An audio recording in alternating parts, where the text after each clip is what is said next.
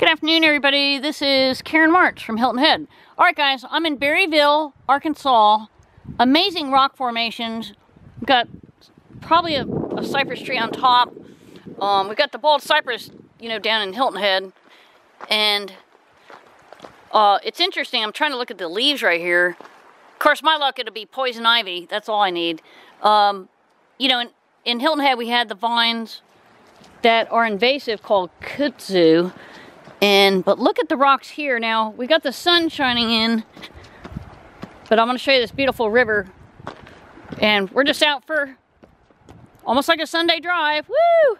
It's usually crystal clear, but it rains. Oh, okay. My brother Stevens tell me usually the water's crystal clear, but it, it just rained recently. Isn't that bizarre?